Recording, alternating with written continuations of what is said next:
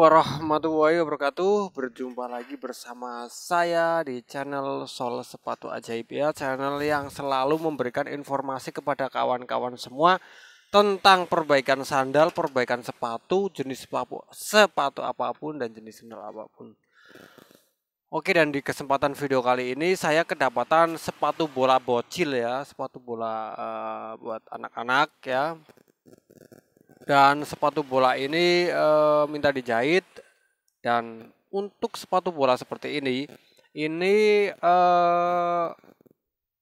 outsole-nya sama uppernya itu dalamnya sudah ada jahitan ya e, jadi dia langsung dijahit sama ini ya dia jadi langsung dijahit tuh. Untuk yang benar-benar seperti ini dia langsung dijahit sama uppernya ya jadi dia tidak ada tekson. Jadi tidak ada tekson dalam uh, sepatu bola ini. Jadi langsung dari outsole dijahit ke upper ya. Dan apakah perlu dijahit? Ya perlu juga sih karena uh, nanti kalau tidak dijahit uh, bagian sisi yang luar sini akan cepat ngebuka ya. Contohnya di yang bagian depan ini sudah ngebuka ini. Sudah mengubah sedikit ya seperti ini. Ini mungkin dipakai satu kali atau berapa kali udah ngebuka uh, seperti ini ya. Uh, dan ini uh, caranya gimana, cara menjahitnya gimana, alatnya pakai apa saja, bisa kawan-kawan simak ya karena ini sepatu bocil ya, beda dengan sepatu-sepatu yang biasa saya tanganinya. Dan ini datang ke lapak saya juga langsung dua pasang ya, satu pasang uh, ini yang satunya lagi ya, dua pasang sama ya, sepatu bocil semua. Oke, kita kendorkan talinya dulu ya, tidak perlu dilepas, kendorkan saja.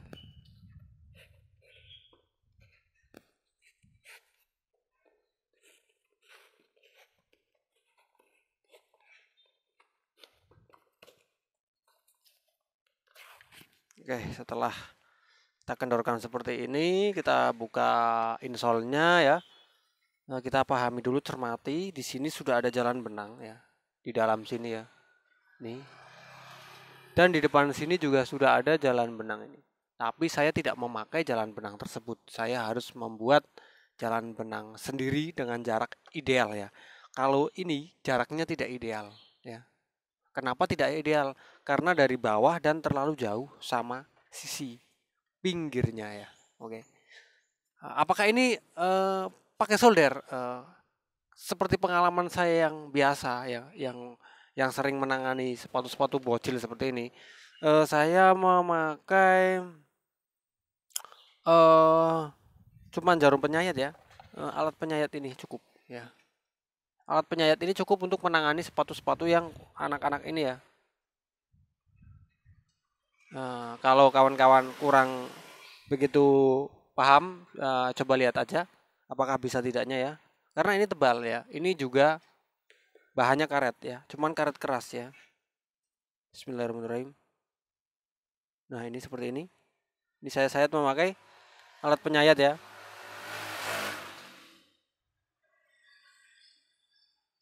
Nah, ini. Ini dia. Bisa kawan-kawan lihat. ya. Jadi tetap bisa ini.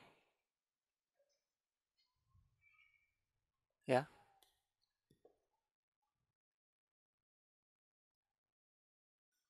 Cuman modal ini doang ya. Alat penyayat doang. Tidak usah memakai solder. Tapi kalau di solder bisa tidak bisa Oh kenapa kok tidak disolder ini malah pakai jarum penyayat soalnya kalau kita e, lihat kerapiannya kalau untuk outsole ini lebih rapi yang pakai alat penyayat ya. Kalau pakai solder nanti bisa kelamaan juga dan hasilnya kurang rapi.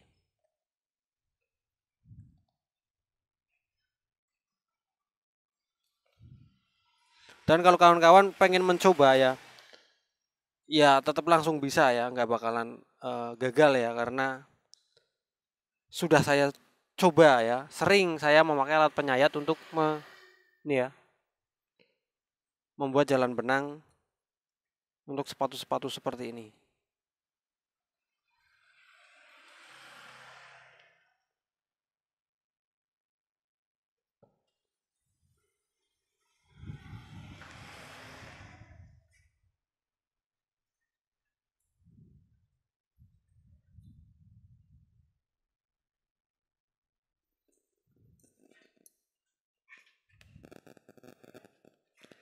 Kalau ada nanya bang kok kena uh, kalau saya memakai jalan benang di yang ini ya ini yang dalam ini boleh nggak? Boleh aja ya. Oh kenapa uh, dikasih jalan benang di bagian samping sini? Karena ini lebih dekat sama sisi yang merah ini ya. Jadi nanti jahitan di sini ini lebih dekat sama sisi yang merah ini. Kalau dari sini dari dalam akan lebih jauh. Makanya ini akan lebih risiko untuk membuka untuk terbukanya itu lebih gede ya. Karena e, terlalu jauh ya. Kalau ini deket jadi sisi e, kesempatan untuk terbuka itu lebih lebih apa ya? Lebih lama pokoknya lah.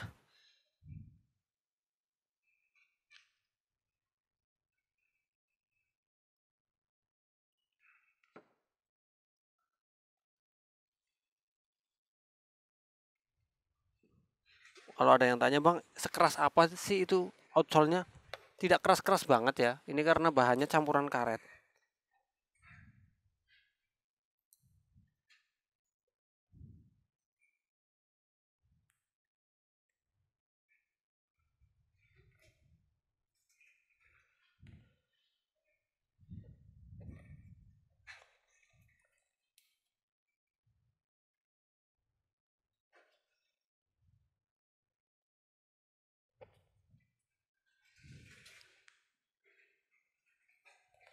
Ini juga sudah mau selesai ya. Sudah mau hampir sampai. Nah, jadi untuk menyayat cukup pakai jarum penyayat ya. Untuk menjahit, apakah mema perlu memakai jarum panjang? Tidak perlu. Saya cuma memakai jarum yang biasa saya pakai, jarum pendek ya. Dan untuk benang, uh, kan ini sepatu kecil ya untuk anak-anak sepatu bocil. Apakah uh, harus memakai benang yang nomor 9 yang kecil? Tidak Nah, walaupun ini sepatu bocil karena tipenya sepatu bola ya, kita harus memakai benang yang gede ya, yang nomor 12. Yang hitam tentunya. Ini benang hitam nomor 12. Benang hitam nilon ya, nomor 12.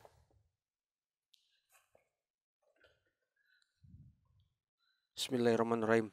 Kita coba deh kita sel saya selalu mencoba dari sini ya. Kenapa kok saya selalu mencoba dari sini? Karena nanti menalinya biar gampang ya. Kalau saya mencoba dari belakang susah, dari depan apalagi ya. Paling mudah itu di bagian uh, samping uh, bagi uh, samping agak ke belakang dan bagian dalam. Ini bagian dalam, ini bagian luar ya, luar kaki maksudnya. Ini dalam kaki.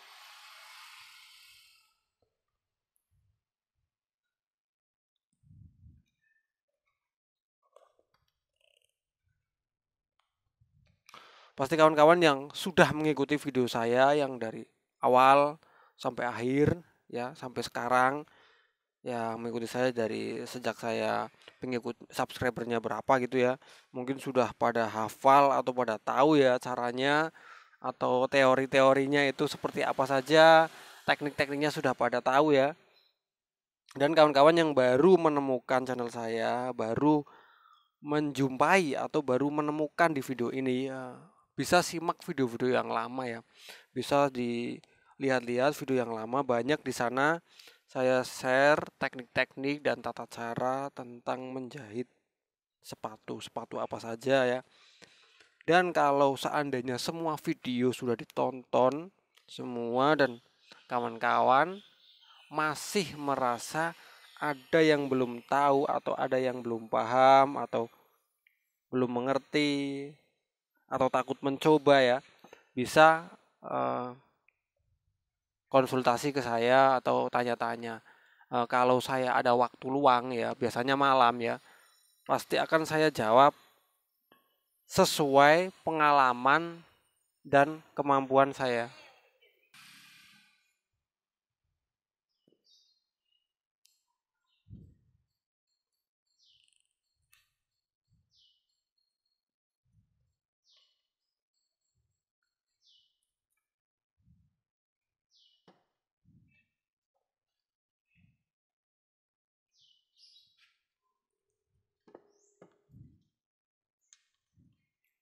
Jadi kalau uh, kita me, apa ya?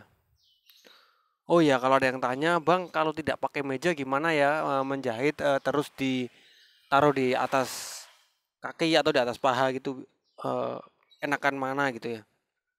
sebenarnya sama saja ya uh, ditaruh di atas meja atau di paha itu senyamannya sendiri aja lah ya senyaman kita nyaman di mana gitu ya. Kalau saya nyaman di atas meja seperti ini dan saya sambil duduk itu lebih nyaman ya. Jadi paha saya itu uh, bebas bergerak ke mana-mana gitu ya. Tapi kalau ada yang nyaman uh, di atas paha juga tidak uh, masalah juga ya. Saya juga dulu waktu pertama-pertama membuka usaha ini juga kawan-kawan bisa lihat di video saya yang pertama saya memakai apa saya hanya memakai kursi sama apa ya jengkok ya namanya ya. Apa itu kalau jengkok bahasanya? Pakai kursi lah ya. Kursi saya juga kayak nongkrong gitu ya. Ya kayak masih belum punya apa-apa lah. Benang masih berapa gitu. Alat-alat juga masih ya seadanya gitu ya. Apalagi dulu waktu saya masih belajar ya. Masih belajar soal sepatu ini tepatnya sekitar ya dua tahun yang laluan lah ya. Saya juga belum belum lama membuka usaha ini tapi saya sudah belajar ke ahlinya ya. Jadi saya sudah diberikan semua ilmu kepada beliau. Eh dari beliau. Dari beliau ilmunya sudah diberikan semua ke saya. Dan di sana juga dulu saya menjahitnya ada tatakannya tapi bukan meja ya. Dan kalau saya jenuh juga saya sering e, nongkrong di depan sini ya depan sini ada kayak bangku gitu ya depan sini. Depan lapak saya ada bangku. Kalau saya e, seumpama apa ya saya jenuh di dalam gitu ya saya keluar keluar di e, bangku tersebut terus Terus saya menjahit di sana di depan. Saya walaupun jenuh tetap menjahit di de, uh, di depan ya. Tapi saya tidak memakai bangku, tidak memakai eh bukan tidak memakai bangku, tidak memakai meja ya.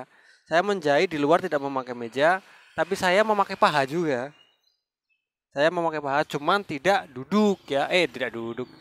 Uh, duduknya tidak apa ya? Duduknya ya kayak duduk di kursi itulah. Tetap pakai paha enakan mana ya? Sama saja sih tergantung selera. Cuman kalau di dalam sini sumpek baru saya keluar ke depan. Cuman kalau di depan itu agak gimana gitu ya. Terganggu sama uh, bisingnya atau eh, motor-motor uh, lewat.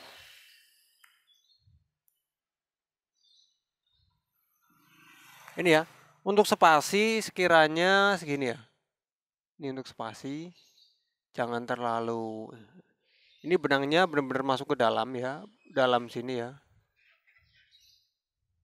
Karena saya memakai jalan benang yang agak dalam.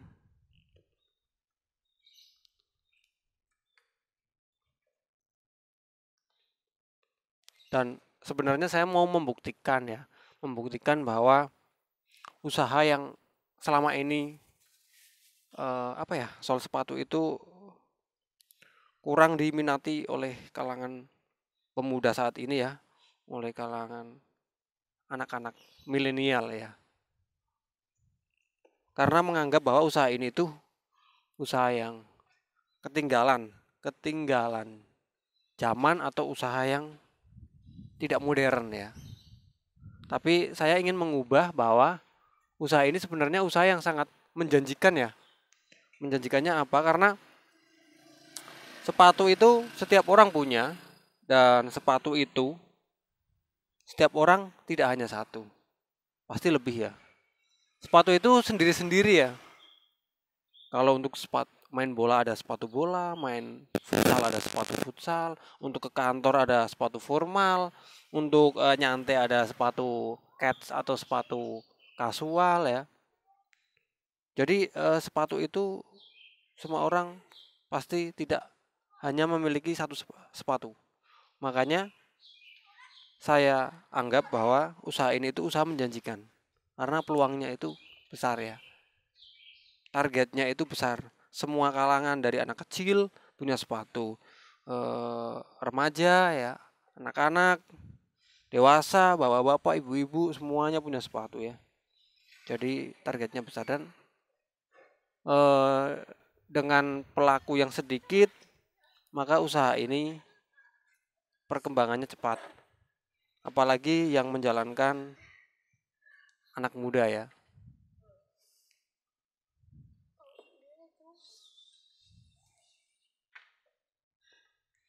Dan kalau kita sebagai anak muda jadi kita sudah biasa bermain dengan gadget, HP, eh, sudah berkecimpung di dunia internet jadi usaha seperti ini kalau kita masukkan ke dalam sosial media ataupun sebangsanya ya sejenisnya seperti itu maka usaha ini akan jauh lebih cepat berkembang dan usaha ini bukan menjadi usaha yang ketinggalan zaman lagi tapi usaha yang kekiniannya.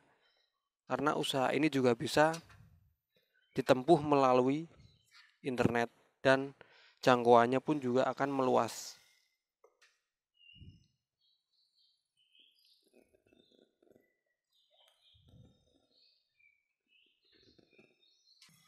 Oke ya untuk kawan-kawan yang uh, kemarin uh, masih bingung uh, teknik di depan ujung ini menjahitnya gimana akan saya uh, share ulang lagi ya. Ini belum terkait ya. Caranya itu seperti ini. Uh, kita masukkan coba jarumnya dan kita tarik di benang belakang ya. Kita panteng benang belakang.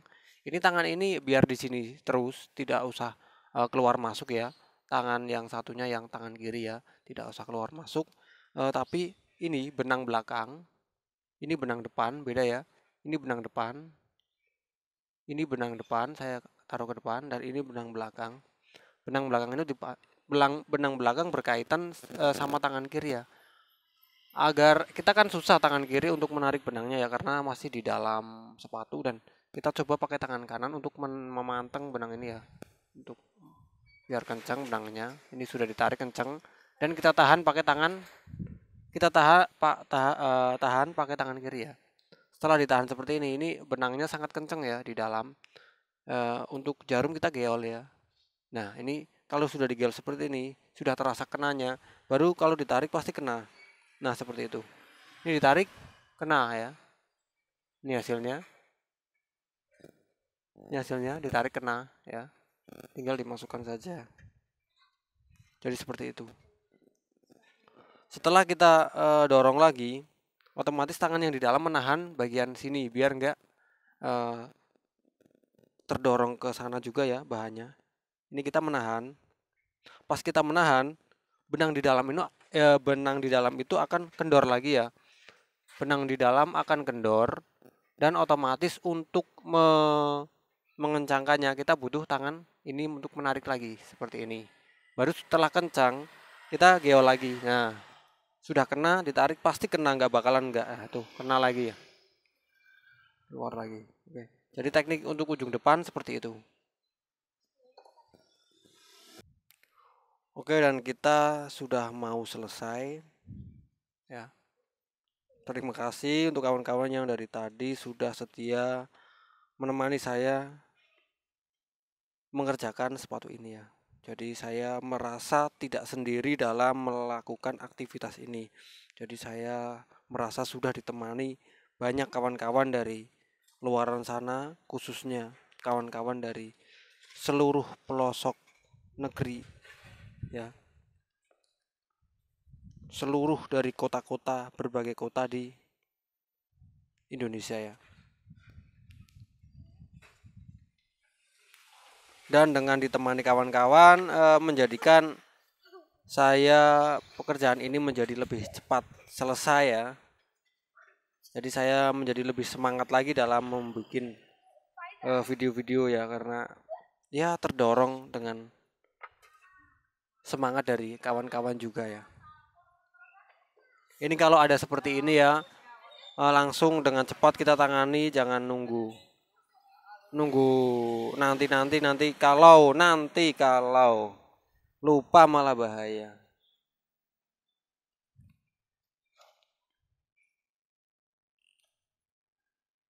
Oke dan untuk menghindari risiko uh, putus atau apa kita menalinya di dalam saja ya jangan menari eh, menali dari luar.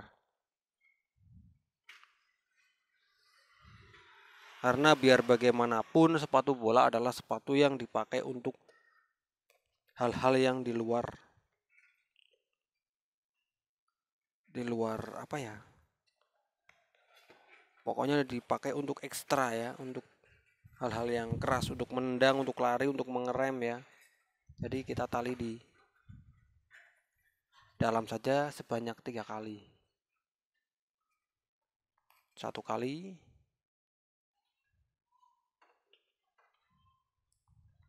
dua kali, dan tiga kali.